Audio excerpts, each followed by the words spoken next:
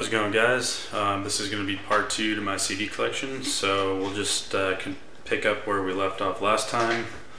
Um, this is going to be Agalloch with White Division Grey. Um, this is a 2 EP compilation um, that includes uh, the Grey EP on one CD and the White EP on another CD. Yeah, so it comes with a cool booklet on the inside with some pretty cool artwork and such. So yeah, um, if you've never heard these EPs, um, the gray came out uh, two years before Ashes Against the Grain, and the white came out uh, two years after. Um, so yeah, the gray is a two-song EP that uh, it's really rooted in like drone and uh, doom with a lot of post-rock influence on it. So uh, just really experimental, um, even for Agalloch.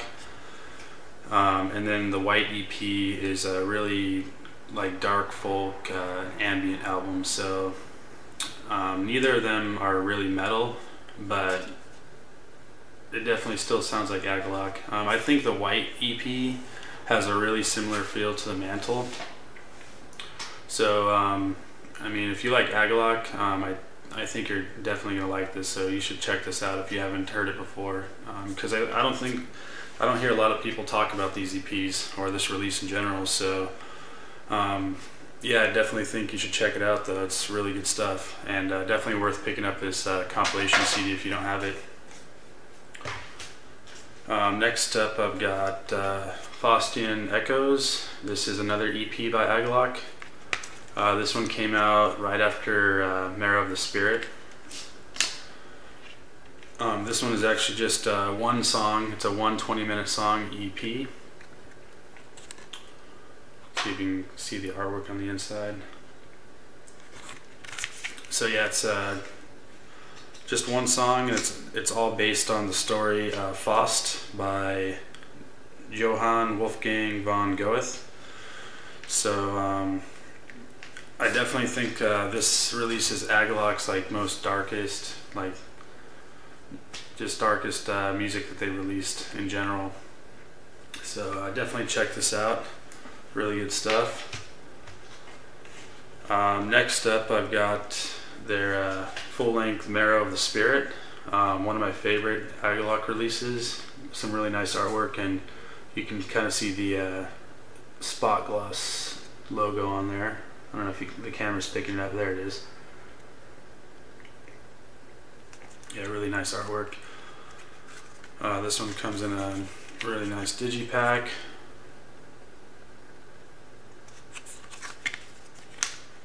Um, so yeah, um, just a really killer release by Agalloch. Um, one of my favorites. My favorite song off this one is definitely uh, Black Lake Nidstang. Um, and then Into the Painted Gray and Ghosts of the Midwinter Fires are couple of my favorites. So yeah, check this one out if you haven't. It's uh, one of Agalloch's best. Alright, next up uh, I've got The Serpent and the Sphere by Agalloch. Um, this is their most recent and uh, their last release unfortunately before they disbanded. Um, so yeah, this one's just a really good album too. I mean, I think it got kind of mixed reviews, but I think it's a really good album. So um, yeah, if you haven't heard this, definitely check it out if you're into Agalloch whatsoever. Um, the final track on here, um, Plateau of the Ages, it's actually not the final track, but it's like the, the second to last track. Um, the last one, the last track is just like a little ending interlude, but uh, yeah, Plateau of the Ages, just a freaking awesome instrumental song. Um, and the Astral Dialogue, um, some of the heaviest stuff that I've heard Agalloch do. So yeah, Serpent of the Sphere, check it out if you've never heard it. Um, next up, got Agent Steel with Skeptic's Apocalypse. Uh, really good, really good album. Uh, just killer speed thrash metal from the 80s. I really like the back where there's like a UFO in the background. That's kind of their whole theme. Agent Steel's like really into like um, aliens and stuff. yeah, classic stuff. If you haven't heard it, go listen to uh, Back to Reign or the title track Agents of Steel. Not the title track, but the, uh, you know what I mean. Check that out if you haven't. Um, and then next up, another one of my favorite bands. This is Alcest with their first album, uh, Souvenirs de Something. I don't want to butcher the title, but just a freaking awesome debut by uh, Alcest. Probably, I would say this is my second favorite album by them. After uh, the Size de Lune, or however you want to pronounce it, which is the next CD I have to show. This is their uh, second full length and my favorite Alcest album. But I kind of ha I have this feeling that it's everybody's favorite Alcest album. It seems like. But uh, rightfully so, because it's a freaking just a killer, perfect album, uh, my opinion. All right. Um, next up, we've got Alcest again with uh, Le Secret. This one is a uh, it's an EP, but it actually includes two versions of it. Um, it has the original recording, which is from 2011, or sorry, 2005, and then it's got a re-recording of the same two-song EP recorded in 2011. So yeah, it comes in this uh, nice digibook. Uh, this is actually the original artwork that came on the first uh, release, when it was first released. Some uh, lyrics and uh, pictures and stuff on the inside. And then we've got the actual CD in there, uh, floating, in, floating in this cardboard sleeve. Yeah, I really like the packaging on this, so it's a cool digibook and then it has this like slip case that it goes into. But uh, Prophecy, or I think it's Prophecy, yeah, that record label, they always have pretty cool packaging. They're the ones that did the uh, the cassette reissues for Alcest too. All right, moving on to a real classic here. Uh, this is Alice in Chains with Dirt.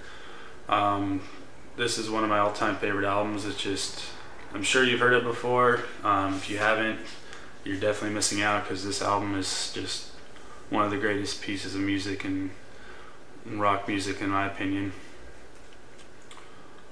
That's the back. So yeah, this is their uh, second full length. Um, just classic stuff. Go check it out if you've never heard it before. One of my favorite albums. Um, next up, we've got Alice in Chains Unplugged. Um, before I got this, I didn't think I was going to like it as much as I do, just because I thought the whole unplugged thing was kind of like a gimmick in the 90s, um, with a lot of, especially like the grunge bands and just rock bands in general. But um, this is just a really good set. They play pretty much all their best songs, and uh, yeah, it's awesome. I think uh, the intro track, uh, Nutshell, the first track they play on here, it's a really good version. I think I like the uh, the unplugged version better than the original. So yeah, check this one out if you haven't. Go to in Chains. Um, next up, we've got Amon Amarth with Versus the World. Um, I think this is their second full-length album. I want to say, maybe I'm mistaken. Didn't check, but um, yeah, really good melodic death metal. I'm sure everybody's familiar with Amon Amarth. Um, really good album. So yeah, check that out if you haven't. Um, and then last for this video, I've got another Amon Amarth CD. This is Deceiver of the Gods.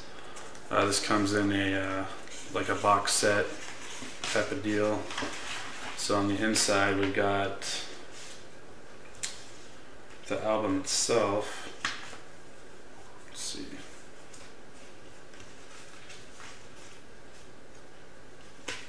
There we go. So you got the uh, digipack here.